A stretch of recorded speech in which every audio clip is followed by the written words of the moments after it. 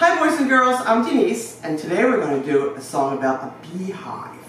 So once you get your hands, put them together like this, okay? And there's bees hiding in here. So, here is the beehive. But where are the bees? Hidden away where nobody sees. Watch, and you'll see them come out of the hive. One, two, three, four, five! Bzzz. Now tickle your little friends. All right, till next time.